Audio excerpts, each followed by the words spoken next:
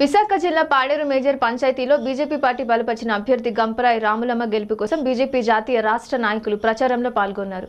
Carrot గుర్తుపై vote వేసి గెలిపించాలని భారీ ర్యాలీ నిర్వహించారు.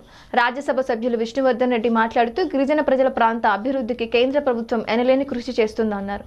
బీజేపీ నాయకులు కురుస్తా ఉమామహేశ్వరరావు రాజారావు కృష్ణారావు రామకృష్ణ ఈ కార్యక్రమంలో పాల్గొన్నారు.